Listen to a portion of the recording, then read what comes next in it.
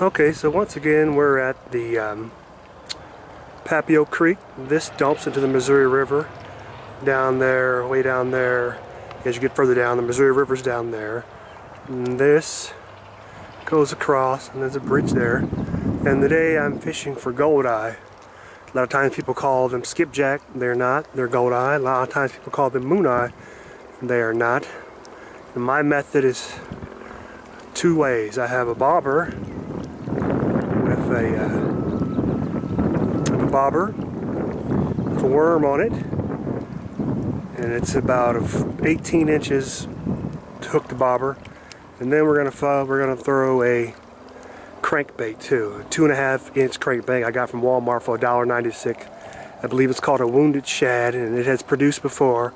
So we're gonna try it and switch up to another crankbait if that doesn't work. This is bigmuddyfishing.com and we'll get back to you Okay, once again, it's bigmuddyfishing.com, and we've been here about a half hour. We always we already put one in the net. Not as big, but this was on a bobber and worm. You can see there, worm, and so another goldeye right in the Papillion Creek near the mouth of the river, near the mouth of the Missouri River. So we're going to put this one on ice. Okay, so now we have number two, and these are a lot smaller than normal. Okay, so this is number two in a worm. I caught this one like 10 minutes after I caught the first one. As you can see, I got a bucket full of ice here, and there's a, a saltwater brine in there. I probably need a little bit more water, but there's a second one. So that's good catfish bait right there, people. BigMuddyFishing.com. Okay, so there's number three. Not catching anything on lures today. These are all coming off worms. So we're gonna get him in that icy mix. We're gonna put a little bit more water in there so it's colder in there. But right there is some good bait. So right now I believe I have seven uh, goldeye in total. I got four at home in the freezer and three here. And my goal was 10, so we're getting close. BigMuddyFishing.com. Okay, uh, we're up to five now, and they're actually getting bigger. I stopped trying to use lures, and I have two poles going with worms right now.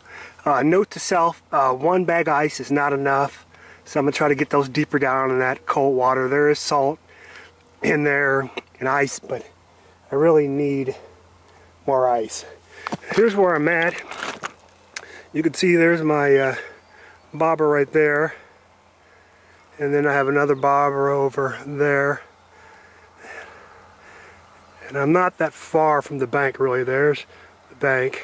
I'll just do a wide shot there. And then you don't know if you can see the bobbers in there but I tell you what. So there's where we're at.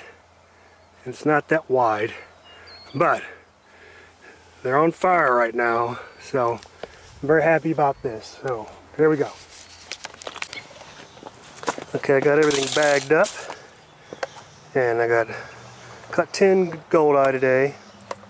So there's some good bait bags. I really need to work on getting some better some better um, bags. Those bags are okay. They're great value Walmart bags. The kinds that just have the little slider zipper. I'm not sure if that's better or not. They're more expensive, but I don't know if that means they're better. So anyway, that's a good amount of bait. Probably good for bait now. You know, I'd like to freeze this and try this bait and see if my freezing technique works. You know, I did I did put these in ice right away. I did put salt, you know, in the water and get the temperature down and got them frozen right away so they wouldn't decompose. But, you know, only thing that will tell is when we catch a fish with one. So until then, bigmuddyfishing.com.